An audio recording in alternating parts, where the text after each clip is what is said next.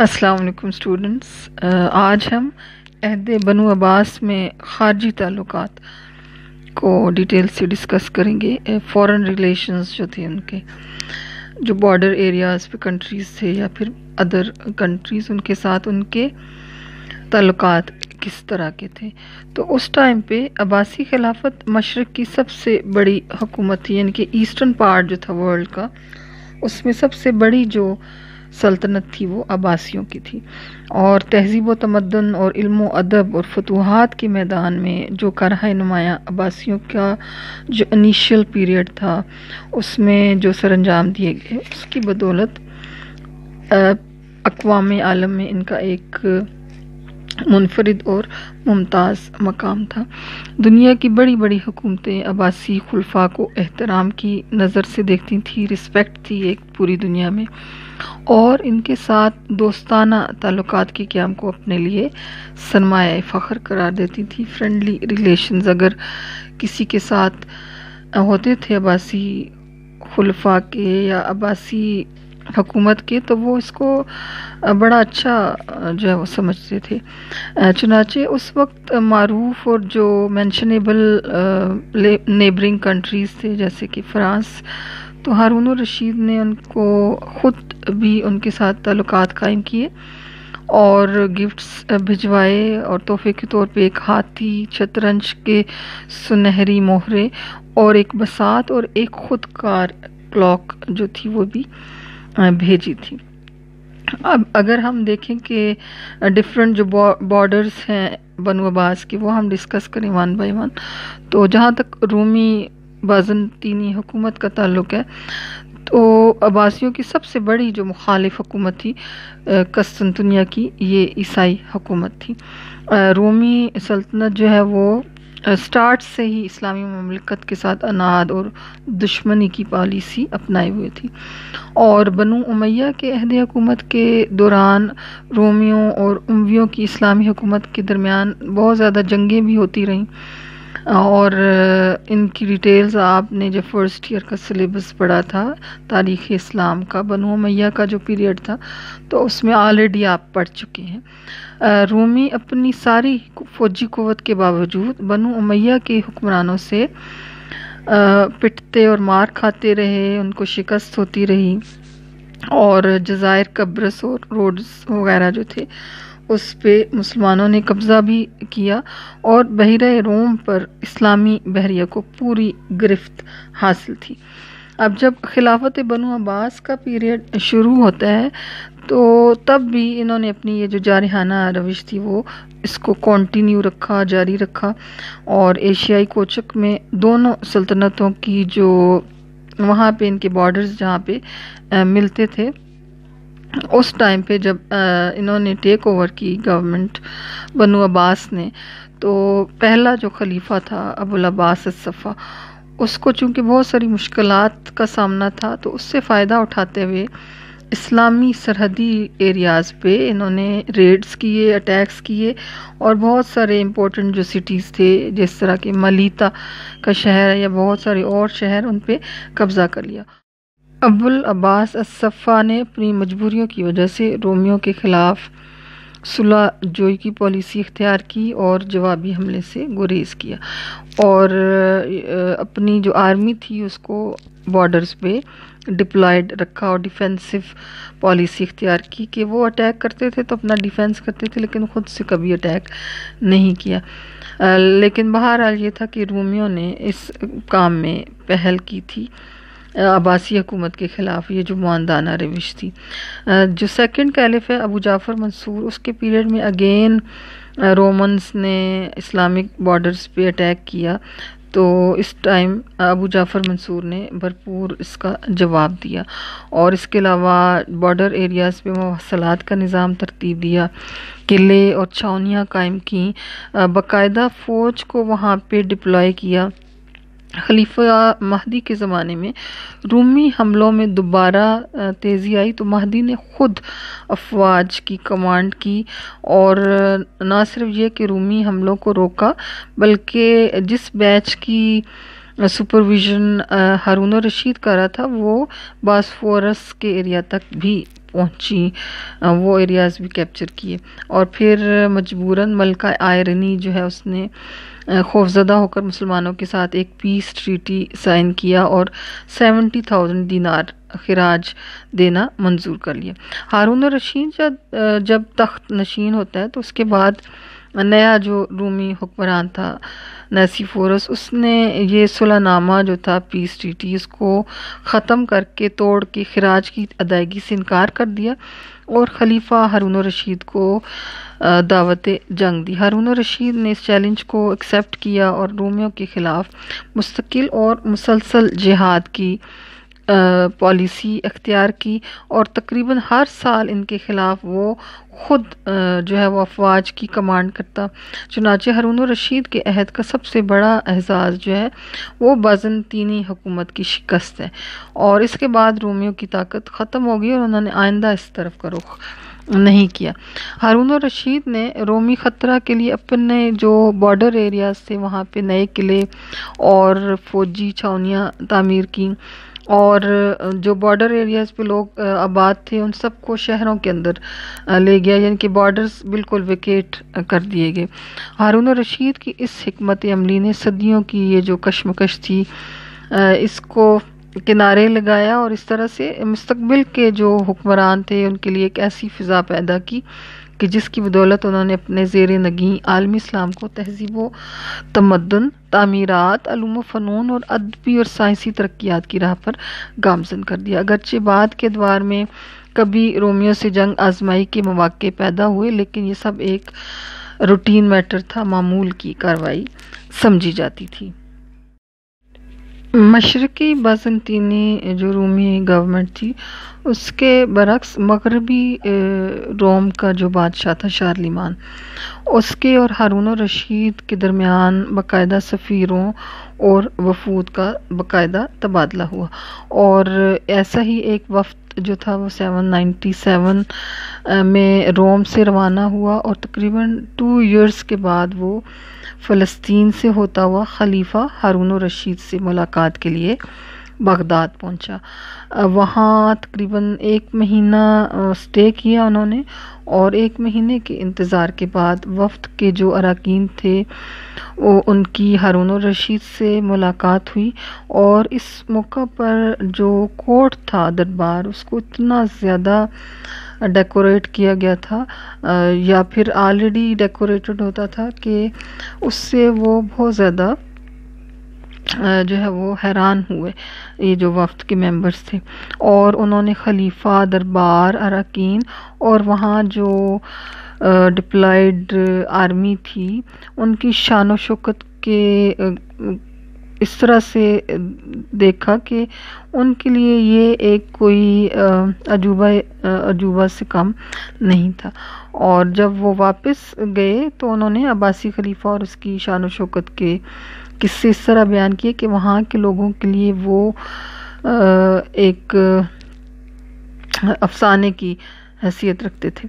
और वापसी पे खालिफा हारून रशीद ने सफ़ीरों के साथ जो तोहफ़ा, ताइफ रवाना की, उसमें एक हाथी ऑलरेडी हम ये डिस्कस कर चुके हैं इसकी डिटेल्स और इसी तरह से बहुत सारे और जो गिफ्ट्स थे, वो भी भिजवाए थे। और इस तरह से यानी कि ईस्टर्न जो रोम था, उसके साथ ताल्लुक अच्छे नहीं थे, लेकिन वेस्टर्न जो रोम था, उनके साथ बाकायदा सफारती रवाबित थे और उनके साथ ताल्लुक थे। बाकी जो यूरोपियन कंट्रीज़ थे, उनके साथ ताल्लुक किस तरह के थे? फ़्रांस और अब्बासी खिलाफत की सरहदें जो थी उन्दलस की उमवी हुकूमत के साथ लगती थी। और मगरबी रोमी हुकूमत और मशरक़ी बाज़नतीनी हुकूमत जिसका दारकूमत कस्तुनतुनिया था उनके आपस के ताल्लुक अच्छे नहीं थे। इसके अलावा फ़्रांस की हुकूमत के ताल्लुक बाज़नतीनी जो मलका थी आयरनी उसके साथ भी आ, कोई अच्छे नहीं थे। तो इस पॉलिटिकल बैकग्राउंड में फ़्रांस और मगरबी रोम की जो हुकूमतें थीं उनके ईसाई हुक्मरानों ने बगदाद के खलफा बिलखसूस खलीफा हारून रशीद के साथ फ्रेंडली रिलेशंस कायम किए और, वो इसमें इंटरेस्ट रखते थे। जिहाद और सफारतकारी के अलावा मशरक़ की जो अजीम अब्बासी खिलाफत के मगरबी यूरोप के ममालिक के साथ बहिर रोम के जो बहुत सारे आइसलैंड थे, जैसे सिसली है, क्रेट और कब्रस जो कि अब्बासियों के अंडर थे। यूरोप के साथ ज़राए रसायल के अहम मराकज़ समझे जाते थे और कस्तन दुनिया में अब्बासी ताजरों के तजारती मराकज़ कायम हो चुके थे। शुमाली यूरोप के मुल्कों से मिलने वाले जो शवाहिद हैं, जैसे वहाँ से स्क्वाइंस मिले हैं। तो उससे वो भी इस बात की। तायद करते हैं कि जर्मनी और बल्गारिया के अलावा स्कंडेनेविया के जो ममालिक थे और फनलैंड तक मुसलमान ताजरों की आमदो रफ्त थी। और ये ताजर ना सिर्फ़ अब्बासी खिलाफत को यूरोप में मुतारफ़ कराने का सबब थे, बल्कि इस्लामी तहजीब व तमदन को यूरोप तक पहुँचाने में भी इनका बहुत बड़ा रोल है। और यूनान, जर्मनी और इंग्लिस्तान के साथ किसी किस्म के सफारती तल्लक का कोई एविडेंस नहीं मिलता।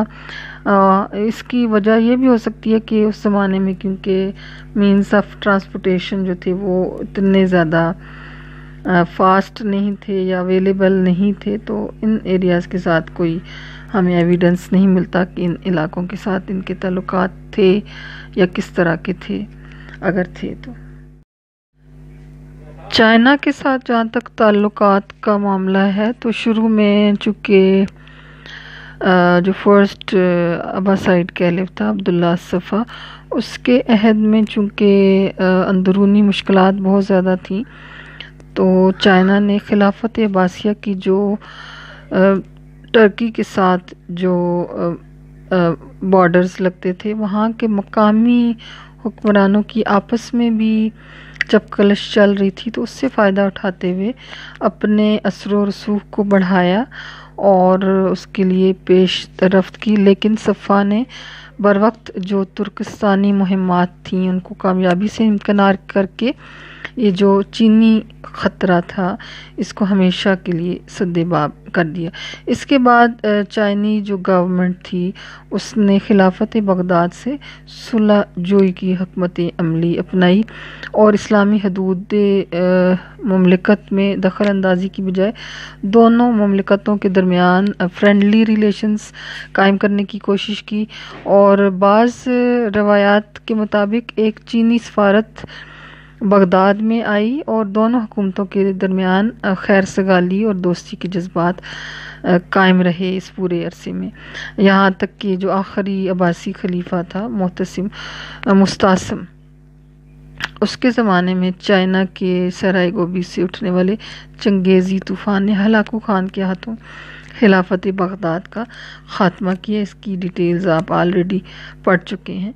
तो सफारती तल्लक के अलावा चाइना के बड़े बड़े इलाके, शहर और मंडियाँ जो है, वो वहाँ पर मुसलमानों की तजारती काफ़लों की आमदोरफ्त जारी रहती थी। उन्दलस की उमवी हुकूमत के साथ किस तरह के तल्लक थे? तो उन्दलस में उन दिनों अब्दुलरहमान उमवी की हुकूमत कायम हो चुकी थी। अब्बासियों ने अपने अहद हुकूमत के इब्तदाई अयाम में उन्दलस की फ़तह के लिए लश्कर रवाना किया, लेकिन अब्दुलरहमान ने इन्हें जो है वो शिकस्त दी और इस, इनके कायद का सर काट कर अब्बासी खलीफा के पास पहुँचा दी इस शिकस्त के बाद अब्बासियों ने दोबारा उन्दलस की तस्खीर के लिए कोई कोशिश ना की। अफ्रीका की आज़ाद खुद मुख्तार रियासतों के ख़िलाफ़ अब्बासी हुक्मरान जारहाना रविश इख्तियार करने की बजाय इनके साथ फ्रेंडली रिलेशंस कायम करने पे मजबूर थे। इनकी इस हमत अमली की बुनियादी वजह ये थी, बेसिक जो रीज़न थी, वो ये थी कि वो अपनी सरहदें बरह रास्त अफ्रीका तक वसी करने की बजाय जो इंडिपेंडेंट अदरीसी हुकूमत को उन्दलस के उमवियों और अपने दरमियान बतौर बफर स्टेट कायम रखना चाहते थे, ताकि वो बरह रास्त उमवियों के जारहाना अजायम का निशाना बनने से महफूज रहें। तो उस टाइम पे बड़े सग़ीर में कायम जो हिंदू हुकूमतें थीं, वो बाकी कंट्रीज़ के साथ ताल्लुक़ को ज़्यादा पसंद नहीं करती थी और उनके नेबरिंग कंट्रीज़ के साथ ताल्लुक़ कशीदा ही रहते थे। सुल्तान महमूद गजनवी का जो हमलों का सिलसिला है, वो भी इसी कशीदगी का नतीजा था। सुल्तान महमूद गजनवी ने अहम हिंदू राजाओं को शिकस्त देकर इनसे खराज वसूल किया और पंजाब को अपनी ममलिकत का हिस्सा बनाया। तो गोया गजनवी बर सकीर के मरकज़ी हिस्सों में पहले मुसलमान हुक्मरान थे। गजनवियों के अब्बासी खिलाफत बगदाद के साथ बहुत जो है वो फ्रेंडली रिलेशंस थे, खुशगवार तल्लुक़ थे और महमूद गजनवी को दरबार खिलाफत से यमीन दौला का टाइटल भी मिला था। इसके बाद मोहम्मद गोरी जो है, उसने सेंट्रल एरियाज़ जो थे, जब उनको कॉन्कर किया तो यहाँ तुर्क सलातीन की गवर्नमेंट फॉर्म हुई, जिन्हें हम ख़ानदान ओलामा के नाम से जानते हैं। उस टाइम पे सुल्तान शमसुद्दीन अल्तमश ने दरबार खिलाफत से सनद हुकूमत हासिल की और अपनी जो गवर्नमेंट थी, उसको लेजिटमाइज़ किया, कानूनी जवाज़ दिया। फिर सुल्तान गयासुद्दीन तुगलक का जो पीरियड था उसमें एक मुतासर अब्बासी शहज़ादा दिल्ली आता है। तो सुल्तान कहते हैं कि उसने शहर से मीलों दूर जाकर नंगे सर और नंगे पाँव उसे वेलकम किया, क्योंकि उनके यहाँ अबासी जो कैलिफेट थी, अब्बासी खिलाफत उसकी बहुत ज़्यादा रिस्पेक्ट की जाती थी, बहुत ज़्यादा इज़्ज़त की जाती थी। और हिंदू, पाकिस्तान के मुसलमान हुक्मरान, अगरचे मजहबी और सियासी नुक़ नज़र से अब्बासी खिलाफत की वफ़ादारी का दम भरते थे, लेकिन वो तमाम मामला में पूरी तरह आज़ाद और ख़ुद मुख्तार थे। मीन्स के एक रिलीजियस जो बॉन्डिंग थी वो मौजूद थी, लेकिन वैसे वो इंडिपेंडेंट अपने तमाम मामला जो थे वो देखते थे। हिंदुस्तान की हुकूमतों के साथ अब्बासियों के करीबी ताल्लुक के सबब इन इलाकों के बड़े बड़े शहर और तजारती मंडियों तक मुसलमानों को रसाई हासिल थी।